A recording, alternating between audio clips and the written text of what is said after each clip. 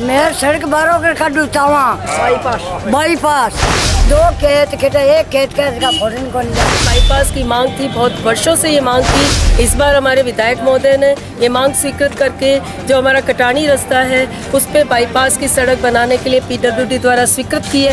एक आधे लोगों के कारण वो काम बाधित हो रहा है। सड़क का काम होना चाहिए। पूरे बाईपास का रास्ता निकल रहा है। वो अतिक्रमण द्वारा सब हमने हटा दिए उस निकास में बाधा आ रही है। खाली दो चार आदमियों की तरफ़ से। एक खेत वाला जो खेत है उसका वो क्या है बोल रहा है कि प्रशासन मेरे खेत में पग नहीं देगा। एक किलोमीटर दायरे के मायने पे पौधा निर्माण नहीं कर सके। इस वास्ते मैं सब मिल रहा है कि भाई हमारे एक किलोमीटर के बाद निर्माण नहीं हुई तो फिर मैं क्या कर सकता पहले तो ये दस किलोमीटर था तो हमें कोई आपत्ति नहीं थी। अब ये कि एक किलोमीटर बफर जोन कर दिया है जो इसमें हमारे गाँव एकदम पूरा हमारा गाँव आता है शुरुआत एक किलोमीटर के अभियान है जो निर्माण कार्य करने में मन नहीं कर देने गाँव में कई सालों से बाईपास की मांग हो रही थी जिसको विधायक महोदय द्वारा पास करवाया गया और बाईपास ज़रूर ज़रूर निकाले ताकि सभी गाँव वासियों को एक सुविधा हो सके। स्वीकृत बाईपास सड़क का निर्माण शुरू करवाने की मांग जिला कलेक्टर से मिलकर ग्रामीणों ने बताई अपनी पीड़ा।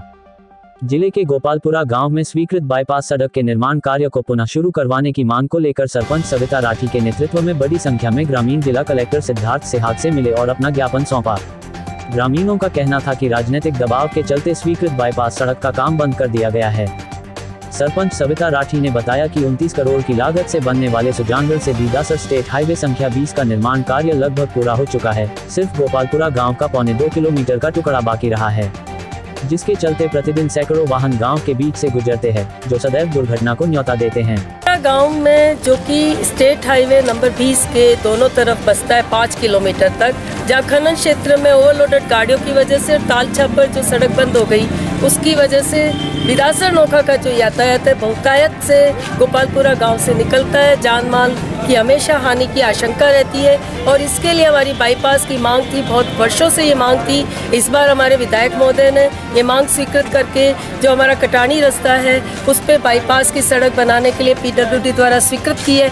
उसके अतिक्रमण हमारे हटाए गए, पक्के अतिक्रमण जिनके हटे हैं, उन्होंने सहर्ष अपने अतिक्रमण हटा लिए और खेतों के अतिक्रमण भी हटा लिए। एक आधे लोगों के कारण वो काम बाधित हो रहा है। सड़क का काम होना चाहिए, पूरे गाँव की मांग है, क्योंकि गाँव के अंदर हर समय जान माल की हानि की आशंका होती है और इसीलिए ये बाईपास होना अति आवश्यक है। इसलिए हम जिला कलेक्टर महोदय को यह निवेदन करना है कि ये काम हो, क्योंकि पक्के दीवारें भी टूटी है, घर टूटे हैं। जिन जो गरीब लोग हैं, उनकी ये आशंका है कि कहीं ऐसा नहीं हो कि पहले भी नरेगा के द्वारा सड़कें रुक गई थी, कल अब ये सड़क नहीं रुक जाए, क्योंकि ये गरीब लोग हैं जिन्होंने गाँव की सहूलियत के लिए अपने पक्के निर्माण हटा लिए खुद ही। तो ऐसा ना हो, सड़क ना बने। इसके लिए ये अपनी तरफ़ से ये गुजारिश करना है कलेक्टर महोदय को कि ये सड़क तुरंत बने ताकि ग्रामीणों को राहत मिल सके। उप सरपंच गणपत दास ने बताया कि गाँव के अधिकतर लोगों ने अपने पक्के मकान तक खुद ही हटा लिए है पैमाइट भी हो गई है।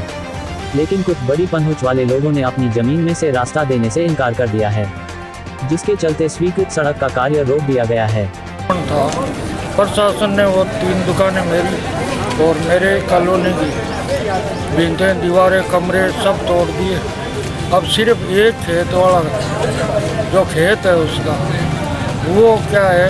बोल रहा है कि प्रशासन मेरे खेत में पग नहीं देगा। अगर पड़ गया तो मैं उन पर मुकदमा करूँगा। वो है, वो या तो हमारे तीस घरों का दीवारें, मकान, ये दुकानें तोड़ी है उनका अब क्या होगा? जब ये कटानी रास्ते में थी कटौड़ी वही है जो थोड़ी बहुत मारे तो हमने तो अपना कॉलोनी का पूरा अपने सबसे खुद हटा ली, कभी प्रशासन का। है ये हटा लो। अब आगे एक खेत है पूरा बाईपास रोड ग्रामीणों का कहना था कि ज़्यादातर गाँव वालों ने बरसों से चली आ रही समस्या के निदान के लिए सहयोग किया है। रास्ते का निर्माण शुरू भी हो गया लेकिन कुछ पहुँच वाले लोगों के दबाव के चलते विभाग को सड़क निर्माण का कार्य रोकना पड़ा है। मैं कहना चाहता हूँ कि बाईपास ज़रूर ज़रूर निकाले ताकि सभी गाँव वासियों को एक सुविधा हो सके। और उसमें दिक्कत ये होती है कि काफ़ी ट्रैफ़िक जाम होता है गोपालपुरा में बच्चों का आवागमन रहता है। इसके लिए हम ये कहना चाहते हैं कि बाईपास ज़रूर ज़रूर निकालें आज हम सब ग्रामवासी गोपालपुरा से यहाँ चूरू कलेक्टर ऑफ़िस आए हैं कि गाँव में कई सालों से बाईपास की मांग हो रही थी, जिसको विधायक महोदय द्वारा पास करवाया गया और सारी बातें हो चुकी थी बाईपास की मंजूर भी मिल चुकी थी।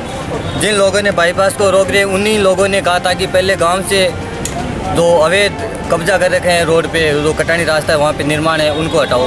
तो गाँव वालों ने जिनके निर्माण कार्य थे, उन्होंने सहमति दी और वहाँ से जो भी अपने निर्माण कार्य करवाए हुए थे, जो भी उनके मकान थे वह रास्ता डोली करी हुई थी, उन्होंने सब वो हटवा दिया, सहमति दी। लेकिन जब उनके खेतों की तरफ़ रास्ता पुगाना तो वो कह रहे हैं कि हम यहाँ से रास्ता नहीं जाने दे रहे। बाईपास हमारे लिए बहुत ही आवश्यक है। जिसकी खेड़ी से बाईपास का रास्ता निकल रहा है, वो अतिक्रमण द्वारा सब हमने हटा दिया है। और सड़क का निर्माण प्रशासक द्वारा सुचारू रूप से निकास किया गया है। उस निकास में बाधा आ रही है। खाली दो चार आदमियों की तरफ़ से। उनकी तरफ़ से वो दूर की जावे और सड़कों निर्माण जल्दी जल्दी करवाया जाए।